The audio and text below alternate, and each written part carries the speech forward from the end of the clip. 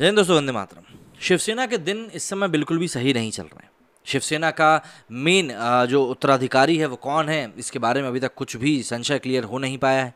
एक तरफ़ एक नाथ शिंदे, जो कि शिवसेना नहीं है से ही आते हैं, वो मुख्यमंत्री के पद पर बैठ गए वहीं दूसरी तरफ़ उद्धव ठाकरे, जो कि शिवसेना के प्रमुख हैं, उन्होंने साफ़ तौर पर कह दिया कि भाई एक नाथ शिंदे शिवसेना के दो सीएम कहीं से कहीं तक है नहीं। तो उस समय किसी को ये समझ में आ नहीं रहा है कि शिवसेना दरअसल है कौन सी? एक नाथ शिंदे वाली शिवसेना है या फिर उद्धव ठाकरे वाली शिवसेना है? बीजेपी ने यहाँ पर अपनी उंगली टेढ़ी करके घी ज़रूर निकाल लिया है और बीजेपी को यहाँ पर मतलब भी निकल गया क्योंकि उनकी सरकार का वहाँ पर गठन हो गया लेकिन बात अभी भी यही है कि महाराष्ट्र में सरकार अस्थिर हो या ना हो, लेकिन शिवसेना के पैरों तले ज़मीन ज़रूर निकल गई। ऐसे में राजनाथ सिंह की तरफ़ से जब उनको असलम वालेकुम कहा गया, उद्धव ठाकरे को तो वो भड़क गए और उसके ऊपर भी मतलब हेडलाइन सामने आ गई महाराष्ट्र के पूर्व मुख्यमंत्री उद्धव ठाकरे ने उस समय अपना आपा खो दिया, जब रक्षा मंत्री राजनाथ सिंह ने असलम वालेकुम के साथ उनका अभिवादन किया। महाराष्ट्र टाइम्स में प्रकाशित एक रिपोर्ट में कहा गया है कि राजनाथ सिंह ने ऐसा तब किया जब वे एनडीए के राष्ट्रपति पद की उम्मीदवार द्रौपदी मुर्मू के लिए समर्थन मांगने के लिए उनको फ़ोन किया। मीडिया रिपोर्ट्स के अनुसार उद्धव ठाकरे ने मातोश्री स्थित अपने आवास पर शिवसेना के शेष विधायकों के साथ बैठक के दौरान इस घटना के बारे में बात करी।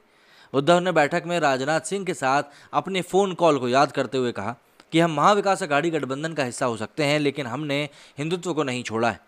बता दें कि उद्धव ठाकरे ने मंगलवार 12 जुलाई को शिवसेना के उन विधायकों के साथ अपने आवास मातोश्री में एक बैठक बुलाई थी, जो अभी भी उनके प्रति वफादार हैं।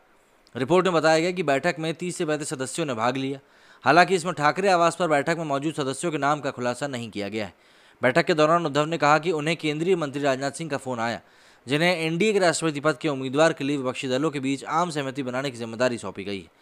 हालाँकि राजनाथ सिंह का अभिवादन असलम वालेकुम, ने महाराष्ट्र के पूर्व सीएम का पारा हाई कर दिया, जो कथित तौर पर केंद्रीय मंत्री द्वारा उन्हें बधाई देने के लिए एक अरबी अभिवादन के इस्तेमाल से भौचक के रह गए थे।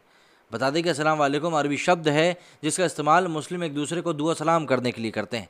वहीं केंद्रीय मंत्री राजनाथ सिंह की बातें सुनकर उद्धव ठाकरे का गुस्सा ही भड़क गया, और उन्होंने कथित तौर पर कहा कि भले ही हम महाविकास अघाड़ी गठबंधन का हिस्सा थे, पर हमने हिंदुत्व को नहीं छोड़ा है, आपको इसे ध्यान में रखना चाहिए। वहीं रिपोर्ट के अनुसार ठाकरे की अस्वीकृति के बाद राजनाथ सिंह ने उन्हें जय श्रीराम के साथ शुभकामनाएँ दी। गौरतलब है कि 2019 के महाराष्ट्र विधानसभा चुनाव के बाद से शिवसेना ने उद्धव ठाकरे के नेतृत्व में अपने राजनीतिक प्रतिद्वंदियों, कांग्रेस और एनसीपी के साथ सरकार बनाने के लिए गठबंधन किया है। तभी से मुख्यमंत्री पद की खातिर हिंदुत्व का त्याग करने का उनके ऊपर आरोप भी लगाए वहीं शिवसेना के हिंदुत्व के मुद्दे को छोड़ने का पहला संकेत तब सामने आया जब महाविकास अघाड़ी सरकार के सहयोगियों के बीच एक न्यूनतम साझा कार्यक्रम मतलब सीएमपी, तैयार किया गया था।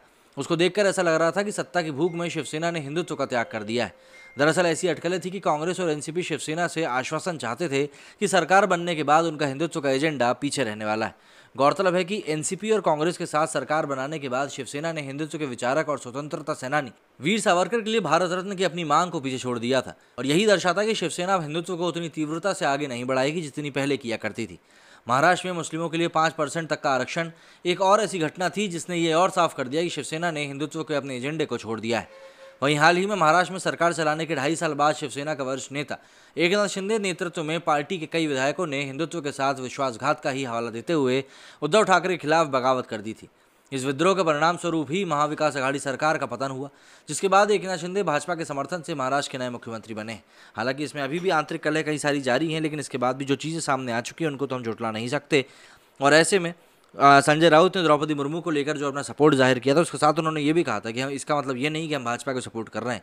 तो कहीं ना कहीं वो भी साफ़ तौर पर यहाँ पर मानसिकता को दिखाता है। मेरे स्टूडियो फ़िलहाल इतना ही। जय हिंद। जय भारत।